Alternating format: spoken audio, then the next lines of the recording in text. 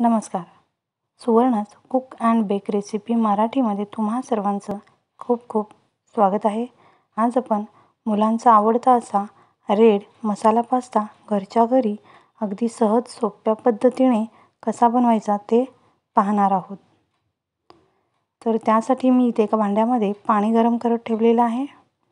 त्यामध्ये एक छोटा चमचा मीठ घालते आणि एक छोटा चमचा तेल घालते.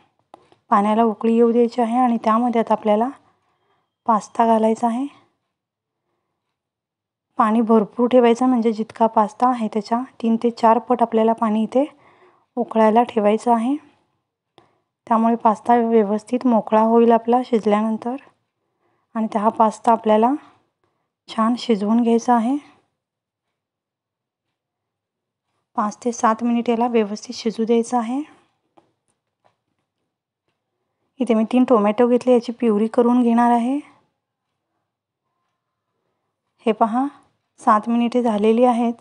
आपला पास्ता झालेला आहे का बघूया. हा पहा आपला पास्ता जवळजवळ झालेला आहे. आपण तो चेक करून बघूयात. हा पहा आपला पास्ता छान शिजलेला आहे. आता गॅस बंद करायचा आहे आणि हा पास्ता यातील पाण्यामधून काढून घ्यायचा आहे. या पद्धतीने. हे पहा. हा सर्व मी पास्ता काढून घेते. आणि इथं आता कढईमध्ये मी दोन चमचे तेल गरम करून घेतलेलं आहे. त्यामध्ये एक कांदा बारीक चिरून टाकलेला आहे. कांदा थोडासा परतून घ्यायचा आहे.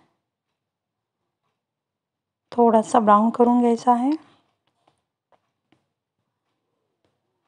थोडासा ब्राऊन झालेला आहे कांदा. आता यामध्ये आपण जी टमॅटोची प्युरी बनवलेली आहे ती घालायची आहे. आणि याला एक दोन ते तीन मिनिटे व्यवस्थित शिजवून घ्यायचं आहे. अगदी त्याला तेल सुटेपर्यंत छान परतून घ्यायचं आहे. हे पहा.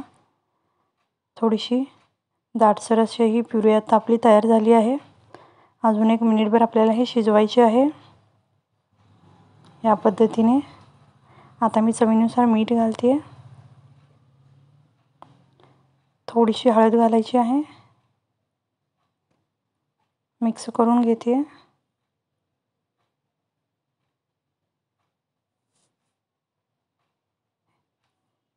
अर्धा चमचा आलं लसणाची पेस्ट घालते. आहे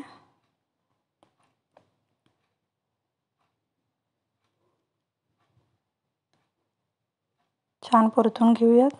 एक मिनिटभर.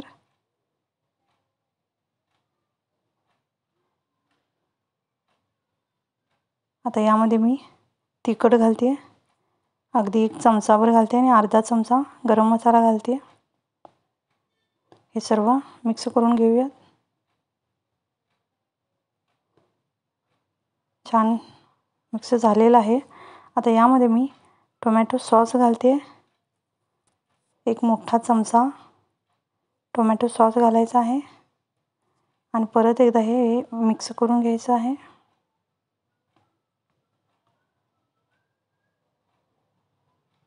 छान मिक्स झालेलं आहे आता.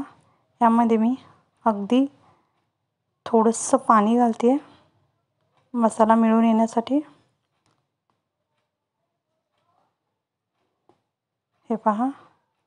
हे छान आता आपलं मिश्रण तयार आहे. आता यामध्ये आपण जो पास्ता बॉईल करून ठेवलेला आहे तो घालायचा आहे. हा पहा. मी पास्ता घातलेला आहे आणि आता याला व्यवस्थित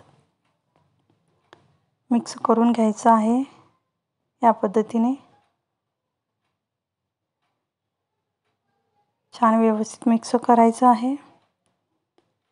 हा पास्ता आपला जवळजवळ छान मिक्स झालेला आहे.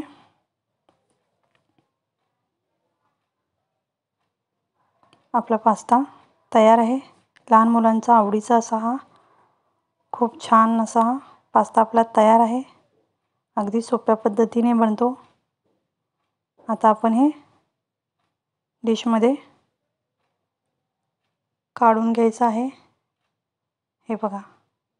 खूप छान असा हा आपला पास्ता तयार आहे. नक्की करून पहा.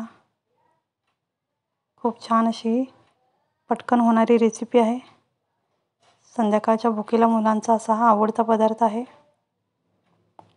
हा पहा. मी एका डिशमध्ये काढून घेतलेला आहे. आपला पास्ता तयार आहे. व्हिडिओ जर आवडला असेल लाईक करा शेअर करा आणि सबस्क्राईब करा. धन्यवाद.